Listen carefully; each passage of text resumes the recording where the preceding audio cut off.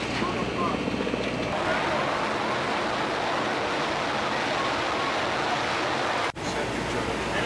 class. He came back 20 minutes later, looking like a free just movie cover in class. And I swear to God. Well, you got a good man. That's a good shit. Then we went back there. Whoa, whoa, whoa, whoa!